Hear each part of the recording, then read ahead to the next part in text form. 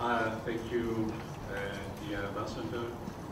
Uh, dear colleagues, thank you, uh, colleagues from Canada and Cyprus, for your coming and to give us uh, this chance uh, to present our university and to have this communication. It's very important for Greek university during this period.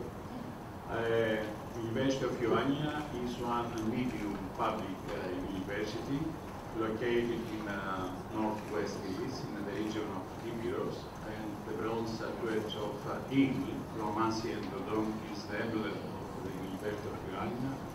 This article is very important for us and for the region and protected in the Archaeological Museum of the city of Ioannina.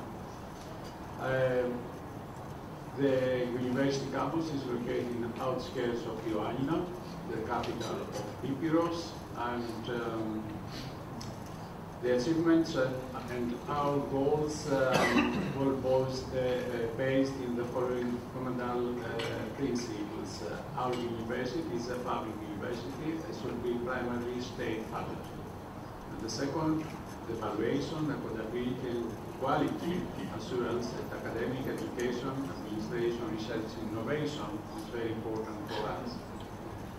The university was uh, uh, established in uh, 1964 as a branch of uh, Aristotelian University of uh, Thessaloniki.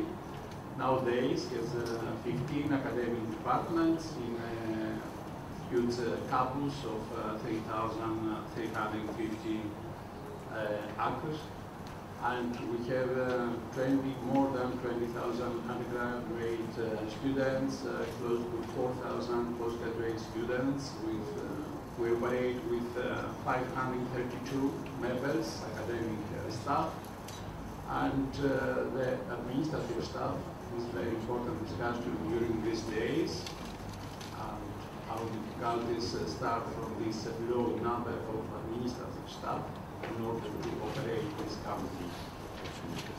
The academic departments belongs in seven schools, School of Philosophy with Department of Philology, History and Archaeology, Philosophy, Education and Psychology, the School of Science, Mathematics, Physics, Physics and Chemistry, and also the Department of Computer Engineering and Materials Engineering and Science, the School of Health Science with the departments, Medicine and Biological Education and Technology, the School of Education with two departments, Primary School Education and Preschool Education, the School of Fine Arts with the Department of Fine Arts and Art Science, the School of Economics with one department, and finally the School of Architecture.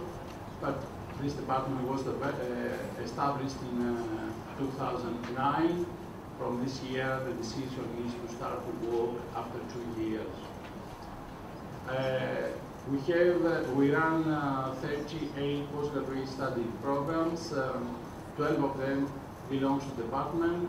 Some of them are collaboration between departments, and 15 of them is our collaboration with other departments from other universities, and we have two international families. Okay. Uh, one is in food biology, uh, biotechnology in collaboration with the University of Patras and the University of Ulster, North Ireland, and the other is in collaboration with uh, the University of Basilicata in crop systems, forestry, and environmental science. We have the facilities of uh, library, cultural centers, and museum. This is the cultural center of uh, monastery, which belongs in the University of Ioannina.